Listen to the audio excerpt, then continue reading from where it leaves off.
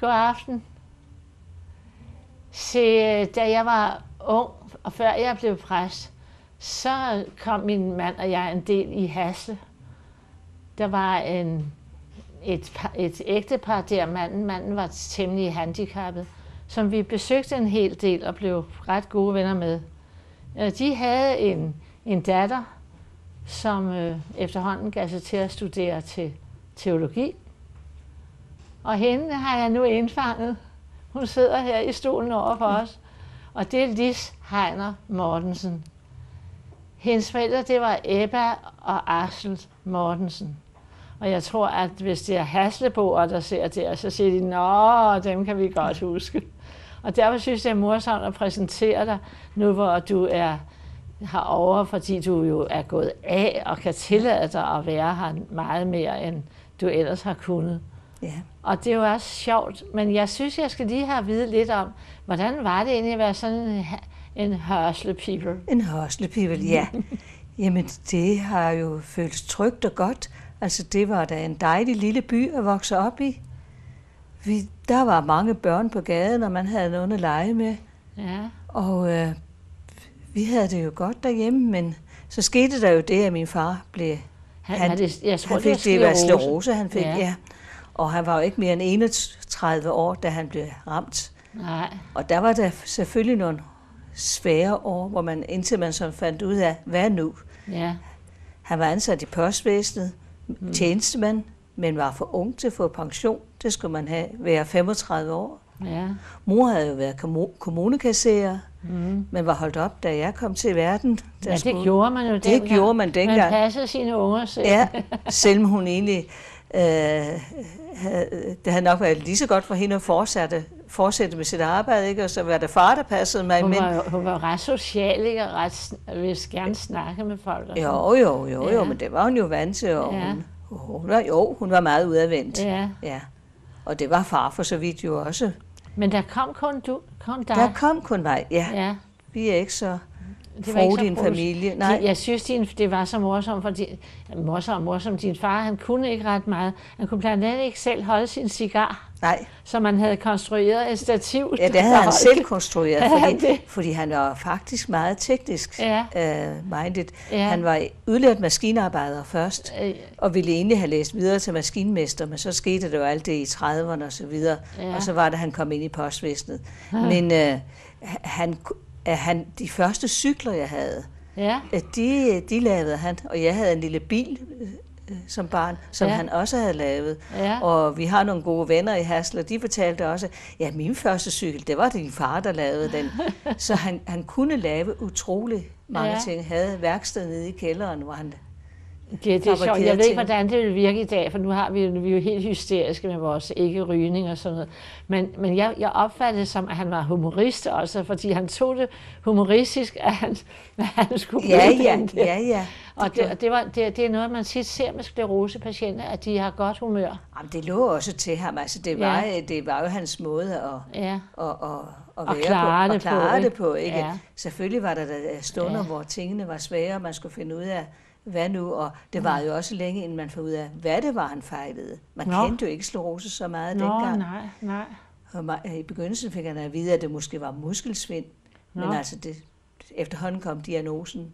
Som det viste sig. Men så var det jo heldigt, at øh, far og mor fik det der lille håndkøbsudsalg, apotekudsalg. Nå, ja. Og det øh, havde at gøre med, altså så gik far jo først derhjemme, men så tog mor en stilling, hvor hun var leder på et kontor hos en Nå, bygmester. Så passede han det?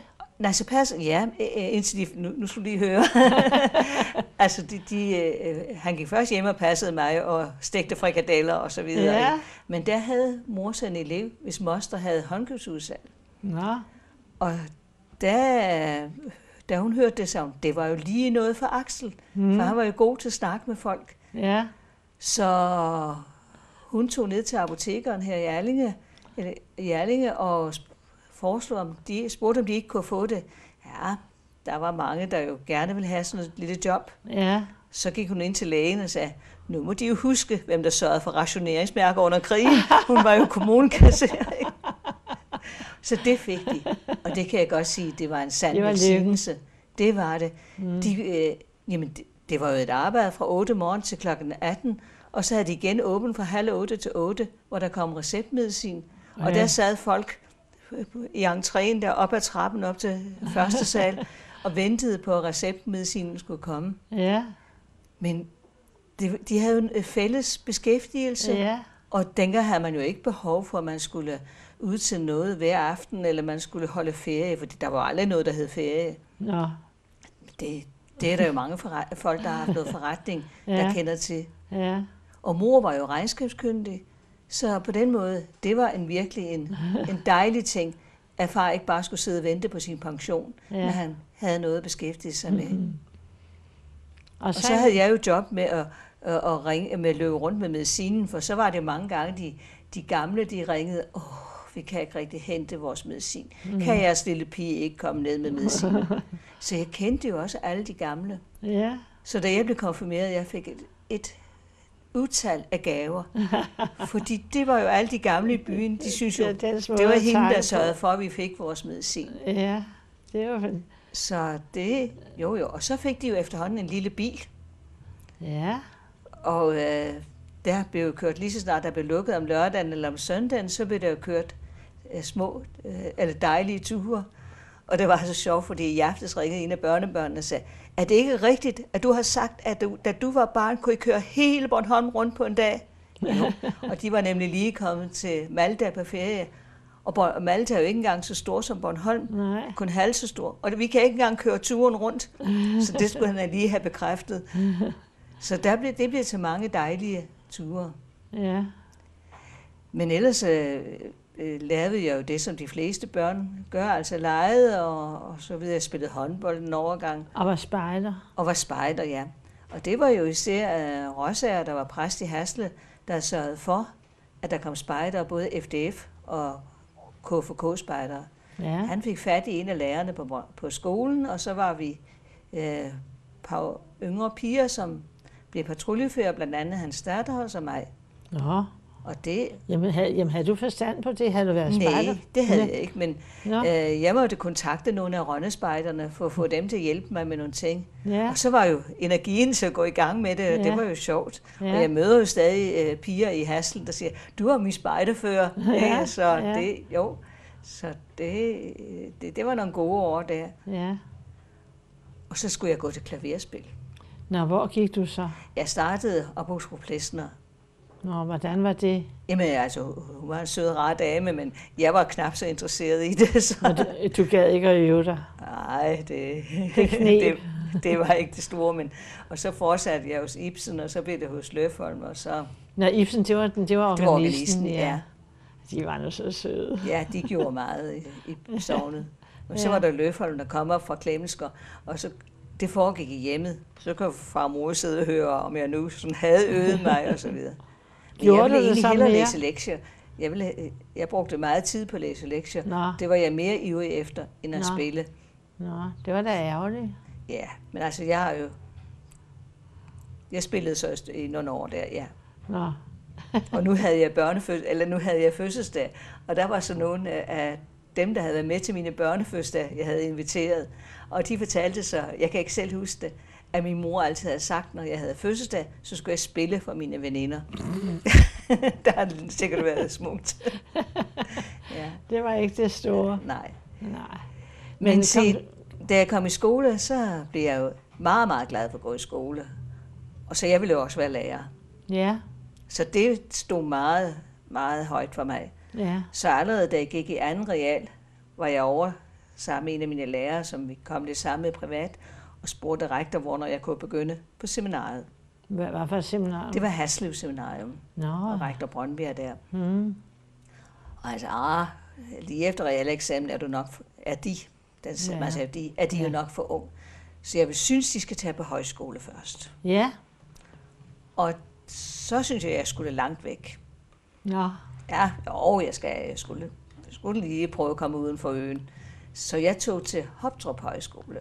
Ja, det er syd, syd, Det, det er syd for. Haderslev, ja. Ja. Der var Axel Nielsen, der var forstander, og en vældig rar og spændende person. Han bliver ved med at have kontakt til resten af livet, mens han, så længe han levede. Ja, Også fordi jeg senere blev kollega med ham, da jeg var højskolelærer et andet sted. Ja, nu Men det var jo så mit første, mit første Betød det noget særligt for dig, eller var det bare tidsfordriv? at være på højskole. Ja. Nej, det var da, det var da spændende, og, og, og øh, hørte jo nogle helt andre foredrag og ting og sager. Ja, det er det, jeg Selvom altså havde sige. bare lidt svært ved, når der var diskussioner, fordi især drengene, de talte jo så jysk. Nå, Og det havde jeg lidt svært ved at forstå, hvad der egentlig blev sagt i mange af Ja, diskussionerne. Ja. ja, vi var tre Bornholmer, så vi kunne jo holde lidt sammen. ja. Ja. ja. Lever de andre endnu? Øh, Det ved, jeg ved, der er en, der er død, men jeg ved ikke Nå. om den anden. Fordi der var, der var øh, træf her for et par år siden, jubilæumstræf, men der skulle vi være rejseleder på en tur til Verona, så Nå. der kunne jeg desværre ikke komme med. Nå. Men, Men- øh, det var som et første. Så gik den øh, tid på ja. en god... Og der skal jeg så også sige, når der så var forældremøder og så videre, eller arrangementer, så kom Rosager, de var jo i midlertid flyttet som præstefolk til Jylland, Nå, så kom ja. de ned og var som mine forældre dernede. Ja. Så jeg havde også øh, forældrerepræsentanter, for min far og mor kunne jo ikke komme. Nej. Nej, men så var, gik tiden der, så var jeg lige tilbage på Bornholm, og jeg var i huset hos en lærerfamilie i et par Nå. måneder. Skulle du lære at lave mad, eller hvad? Nej, jeg skulle...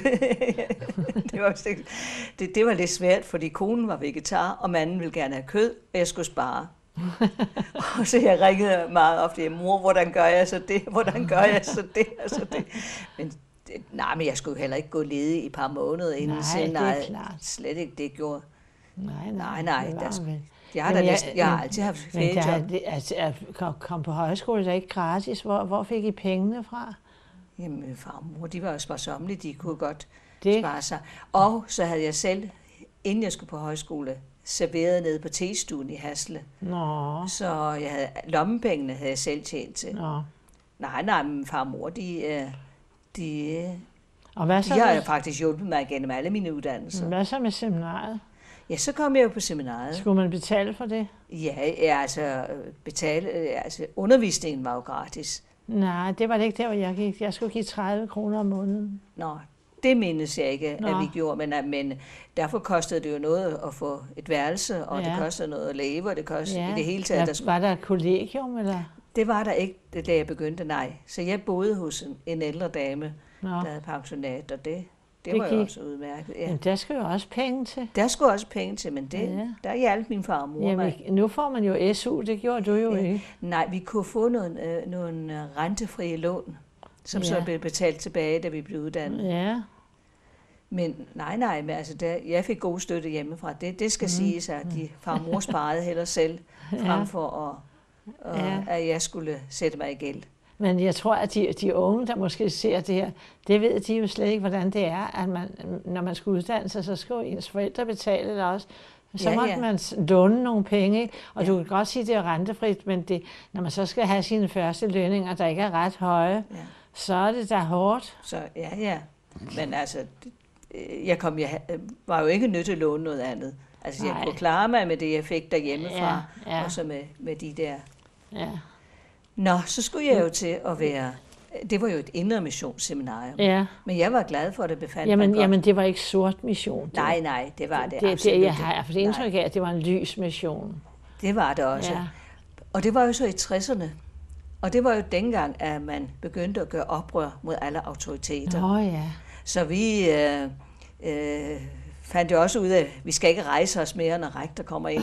Og, og vi var jo nogen, der sad, du ved, sådan Ja. halvt op. Var jo også fjollet. Så på et tidspunkt, så var der jo nogle af de rigtig marxistiske øh, hårde hunde, der syntes, nu skulle der ske noget revolution, nu skulle seminariet ikke være missionsk længere.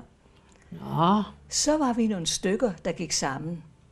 Os, der ikke sagde så meget i det daglige. Vi gik sammen, organiserede os. Du går op og siger det, du går op og siger det, du går op og siger det, du skriver det, du gør det og det. Vi havde simpelthen organiseret os. Vi tog jo fusen på alle de der, der slet ikke havde troet, de skulle få noget modvægt. nej. Og det var så faktisk også med til at, øh, øh, øh, afgøre min fortsatte skæbne, fordi så blev vi inviteret sammen med bestyrelsen, os der havde været aktive. Og i den bestyrelse sad Jens Steffensen, der var forstander i Sommersted. Mm. Og han sidder så og fortæller, at der var to lærere, der var rejst. Og så er der jo straks nogen, der siger til dig, at det ikke noget for dig, for min bedste veninde var lige kommet til Sønderjylland. Og så jeg tænkte også på, og var også begyndt at sende, øh, øh, sende øh, ja, øh, beskrivelser af de forskellige stillinger. Mm. For det, dengang kunne vi jo godt få lærerstillinger, være så mm. nogenlunde. Selvom da jeg skulle have en anbefaling fra inspektøren i Hasle, så sagde han, du kan da godt få en anbefaling, men du vil aldrig få en stilling, for der vil blive så mange lærere i fremtiden, så I får ingen stillinger. Men altså, det, det fik vi alle sammen. Ja, det kan jeg da ikke forstå. Ja. Det kommer, nu kommer vi jo ind i 70'erne. Det var, var så der, i 70, der jeg blev færdig. Stilling. Ja, men det var det også, men det var ja. det så ikke, da jeg øh, Nå, flød Nå. i Hasle. Åbenbart ikke. Nå. Men så kommer jeg jo til Sommersted. Ja. Og det var, sådan, det var en skole, der kørte efter meget faste principper. Mm. Det var lidt, lidt overraskende, så når man nu trods alt var, havde været ung, eller var ung der i 60'erne og sådan.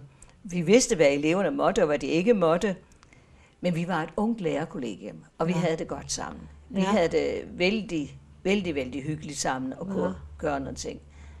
Men det var ikke der, jeg skulle have min fremtid. Mm. Og så spøgede det jo alligevel en lille smule, det der med, skulle jeg begynde at læse teologi, eller skulle jeg læse til kantpæd? Så jeg startede med at gå, samtidig med at være lærer på øh, seminariet i Esbjerg, til en videreuddannelse, altså til at læse religion. Nå, Fandt der sådan en, en, en videreuddannelse? En overbygning til kantpæd. Nå. Men fandt ud af, nej, jeg, jeg, skal, jeg skal have teologien. Det, det skal være det. Det skal være rigtig teologi. Ja, det skal det. Og der var det så lidt sjovt, fordi øh, vi havde hygget os sammen, nogle af dem, jeg gik sammen med på kursus. Mm. Og da jeg, vi kommer til timerne, så er jeg lidt træt, og vi havde også fået noget vin og så videre. Mm. Så siger jeg, jeg tror ikke, jeg vil lave gruppearbejde. Jeg går i gruppe for mig selv. Mm. Så er der en, der hedder Niels Jensen, jeg ved ikke, om du kender ham, det er ham, der har skrevet Kasperbøgerne og så videre. Ja. Han siger, nej, du skal ikke gå i gruppe for dig selv, jeg går med. Mm. Og så sad vi sådan og snakkede om, om fremtiden, og han var nemlig lige blevet forbigået til en skoleinspektørstilling, og havde så fået stilling i Rønde. Mm. Men så sagde jeg til ham, jamen, du kan jo altid ringe, hvis der skulle blive noget i Rønde. og så tænkte jeg ikke mere på det. I mellemtiden havde en uh, kollega og jeg fundet ud af, nu skal vi ud og se den store verden. Ja. Så en kollega... En pige? En pige, ja ja. Mm. Vi, vi ville til Amerika. Vi skulle overse Åben Planskoler, og vi skulle... Og så tog vi på alle tiders nassetur. For hver gang vi mødte en, kender du nogen i USA? Kender du nogen i USA? Og så skrev vi adresserne ned. Så vi rejste faktisk rundt fra det ene sted til det andet og boede hos folks bekendte. Og, og hilse frem. Nej, vi skrev til dem i forvejen, ja, at vi kender den og den, og mm. vi kommer til USA og vi lige havde besøg. Og folk, amerikanerne er jo gæstfri. Ja. De er meget gæstfri. Ja. Og vi boede blandt andet hos en familie, som jeg blev ved at have kontakt med i mange, mange år. Og det var jo, altså de havde 22 fjernsyn, så jeg. Og jeg havde en lille sort-hvid skærm, og det var farvefjernsyn, ikke? Og de havde jo store biler, og vi skulle med dem til præsid- et præsidentbal, eller et eller andet, som de kaldte det. Så vi blev udstyret med fruens flotte, lange kjoler og tog til, til fester. Det, det, det, var, det var en spændende tur. Det gjorde os. Men i mellemtiden, da jeg gik og pakkede sammen, fordi alle mine møbler skulle op til Rosagers i præstegården. Igen mm. viste de, hvor generøse de var. Mm. Jeg kunne bare sætte mine møbler op til dem. Mm. Blev der ringet op fra Rønde Højskole, at en af deres lærere var blevet øh, seminarielærer, mm. om jeg kunne tænke mig at få den stilling. Mm. Jeg havde egentlig ikke tænkt, at jeg ville på en kostskole igen, og en kristen kostskole, nej. Men jeg tog det op. Mm. Og forstanderen, det er jo sådan noget af en spasmager. Han, alt det, jeg spurgte seriøst om, det, det, det drev han gas på. Men jeg tænkte, hvad, jeg kan da prøve. Og jeg var lavet ikke skjult på, at det var for læse teologi. Og jeg så samtidig skulle være lærer. Mm. Og de ville så holde stillingen, så jeg kom hjem i november, for der startede et nyt hold. Mm. Så flyttede jeg til Ronde og blev højskolelærer, og samtidig begyndte jeg inde på universitetet. Nå, nå. Og så tog jeg allerede uh, ind til jul, uh, der tog jeg de, de filosofiske prøver. Ja.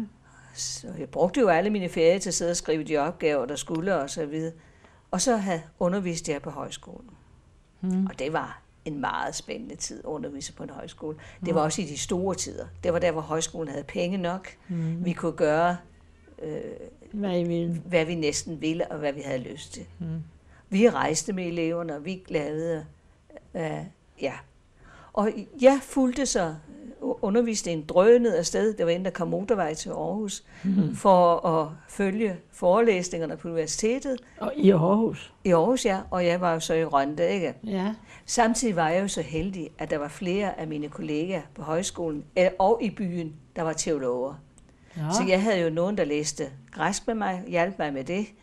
Der var en, der sad og rapporterede Kants religionsfilosofi med mig. Der var nogen, altså jeg havde meget støtte i mange kollegaer, der Nå. kunne hjælpe mig. Det var da fantastisk. Så det var jo, ja, og der flere, altså universitetsfolkene, boede i Rønde. Det var sådan en Det var da forstad. utroligt. Så det var dejligt. Så jeg kunne jo følge med øh, og tage alle øh, første delprøverne øh, på normal tid, Ja. Samtidig med at jeg passede højskole. Men jeg, havde jo også dårlig samvittighed hele tiden, for når jeg sad og snakkede med eleverne, så synes jeg, nej, jeg skal op og læse. Ikke? Når jeg sad og læste, tænkte jeg, jeg skal ned og være sammen med eleverne. Men det, det, det var, ja, så skete der det, at forstanderen måtte rejse, og man havde svært ved at få en ny forstander. Mm. Så måtte vi, delte vi arbejdet mellem os med at lede skolen. En skulle lede højskoleafdelingen, en efterskolen, og jeg var, skulle lede kursusafdelingen. Og der læste jeg jo ikke meget i den Nej, tid. sige. det, men det var så også spændende område. Altså der var jo, der havde vi Dansk Kirkesang var med professor Søren Sørensen og alle de der folk, der var der, og så havde vi nogle andre kendte folk, og, og øh, øh, jamen, der havde, man, havde jeg jo kontakt til så mange mennesker, og der var med til at arrangere store nordiske højskolestævne, og det, det, det, var, det var en udfordring, mm. men spændende. Mm. Så kom der en forstander, men så havde jeg været så heldig i sin tid, at jeg havde fået skrevet i min kontrakt, at når, jeg, når det var tid for mig at få overlov, måtte jeg tage til et fremmed universitet. Jeg behøvede ikke tage på, på Danmarks Lærerhøjskole.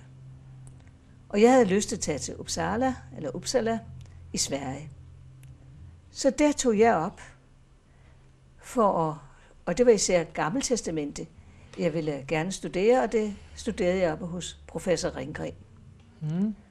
Og der, der var jo også lidt det, jeg synes også, der var lidt mere spændende i, på, i Sverige at læse, fordi at i Aarhus, var, i Aarhus var man efterhånden meget tysk orienteret. Altså det var Nå. for en rat, og det var for en, øh, alle de der store øh, er tyske teologer, man læste. Her var orientering både engelsk og østpå osv.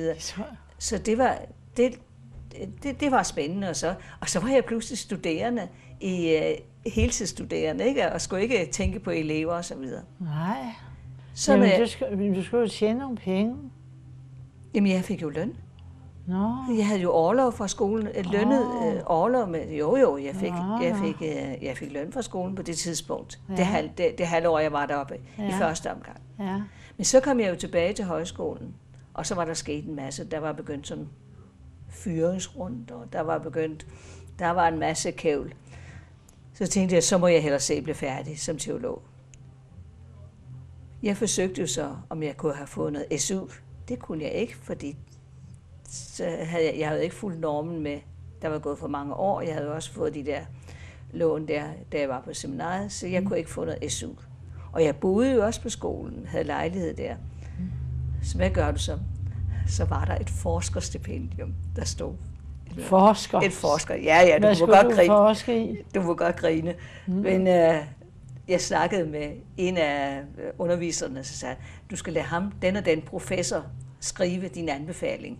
Fordi hver gang vi har lærermøder, og han fortæller om den der tid, nummeringen, så kan jeg høre, det dig, han snakker om, at man godt kan have arbejdet og studere samtidig, og nå lige så meget. Så jeg fik nogle anbefalinger. Samtidig sad jeg også i teaterforeningens bestyrelse, jeg redigerede elevbladet. Så Det betød også noget, at man var lidt udadvendt. Mm. Så jeg fik et forskerstipendium til universitetet. Dejligt. ja, det var, meget, det var også øh, sjovt, fordi det var jo så, der var jeg jo så sammen med andre fra hele verden, der havde, havde stipendier. Jeg kom meget sammen med en portugisisk læge, der, en japansk pige og så videre. Altså vi havde, vi var en lille gruppe, fordi de arrangerede, så var vi en tur i dollerne, så var vi endnu, da der var en Nobelpris, så var de arrangerede for deres forskerstuderende. Men skal man så fremlægge resultater? Jo, jeg, jo, jo, jeg hele tiden skulle jeg vide, hvad, hvad jeg lavede. Skal, skal jeg lave en afhandling? Ja, ja, ja, ja. Mm. Og så jeg var meget interesseret i Bergman, og var begyndt at arbejde noget med Bergmans film. Og det fik jeg jo alle tider chancer for at arbejde med i, i uh, Uppsala, fordi det er jo Bergmans hjemland. Mm. Så jeg har både været sammen med Vilko Tjøman og med Gunnar Bjørnstrand og Harald Andersen, alle de der, fik jeg møde, mulighed for at træffe og komme de steder.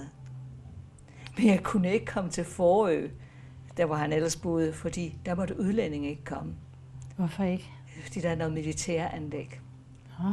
Så der skulle vi, vi var nogle studerende, der skulle, være, skulle derover. Du var også farlig. Det er jo farligt. Så jeg fik skrevet noget om Bergman, og det fik jeg jo så senere, har jeg jo så brugt meget. Jeg har skrevet en del artikler om Bergman, og da jeg kom til, til Sønderborg, så øh, startede en kollega og jeg med at lave øh, studiekreds, eller foredragsserie ja, om du Bergman. kunne lave foredrag, så ja. Ja, så der havde vi over 100 mennesker, der kom til de mm. foredrag. Og jeg har også undervist på Præstehøjskolen om i Bergmans film Nej. og teologi. teologi det, var især, det var teologien ja, ja. i hans film, jeg skrev ja, ja. om. Og så læste jeg også noget tredje verdens teologi. Så da jeg så kom tilbage, så overførte jeg jo så min eksamen til danske forhold. Der var jeg så til eksamen hos professor. Hvordan gør man det? Hvad vil det sige? Der kommer man så til en tillægseksamen. Og hvad skal I, man kunne der? Der var noget kirkehistorie. Der var nogle forskellige ting, jeg skulle skrive nogle ting, og jeg skulle... Ja. Var til, jeg var, kan jeg huske, jeg var til mundtlig eksamen hos, hos Lindhardt. Og, mm. så, så blev det, at jeg kunne søge embede. Men så var jeg jo stadig højskolelærer, for jeg skulle også have lidt pastoralseminarium. Ja. Selvom jeg søgte dispensation for det meste. Fordi der var, ja, som en sagde til mig, du behøver, det er jo ikke for voksne mennesker at lære om konfirmandundervisning og så videre. Jamen, jeg var jo lærer. Nå. så, ja, det er så det søgte, helt, noget af det, det er ikke helt det samme. Nej, men alligevel. alligevel. Men jeg, øh, jeg gik så på pastoralseminaret der. Og så begyndte jeg jo at tænke på, hvor skal du så hen som, som præst? Ikke? Bornholm var jo næsten udelukket. Ikke? Der, det var jo ikke store chancer for at komme til Bornholm. Nå, du mener på grund af modstanden mod ja, det, det ved jeg. Jeg ved ikke, hvor nemt det havde været. Jeg, jeg søgte ikke noget.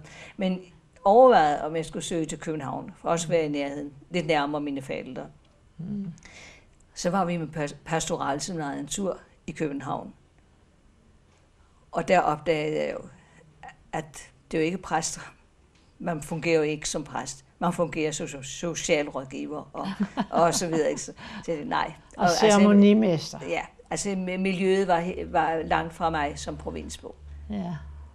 Og så læste jeg jo, at Revitlov var kommet til Afrika. Han var præst i, i, uh, i Christianskirken. I Sønderborg. I Sønderborg, ja. Så jeg søgte på det tidspunkt, der søgte jeg en stilling i Berlin, og jeg søgte så Christianskirken. Og da det var udløbet, jeg ved, de havde menighedsråd, så der gik jeg tidligt hjem. Jeg var ellers i byen, men gik tidligt hjem. Og så ringede formanden, den formand hed Ole Schelte. Han ved du, hvad med. Han fik jo senere betydning. Og næste dag ringede de fra Berlin, at jeg kunne komme til en samtale. Nå, nå, så kunne Men nu havde jeg så, jeg havde, der havde jeg pludselig eventuelt to muligheder. Jeg vidste ja. jo ikke, om jeg fik det, men altså, øh, men, øh, så jeg var jo så nede og prøveprædike eller jeg havde været nede og prøve prædike, som sagt, men øh, havde jo så fået stillingen i Sønderborg. Mm. Og så... Tillykke med det. Ja, og så startede jo en helt ny del af mit liv. Øh. Og ved du hvad, det kan du fortælle om i næste udsendelse. Okay, ja. For, for det går jo, som det var smurt. Hvor er det spændende. Det synes jeg er herligt. Og jeg siger godnat til seerne. Glæder I jer ikke til næste uge? når vi skal høre Lis fortælle videre. Tak for i aften.